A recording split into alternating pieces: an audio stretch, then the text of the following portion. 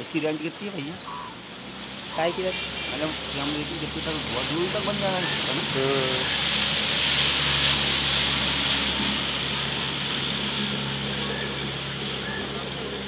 ये पलट्टी गाड़ी नहीं है।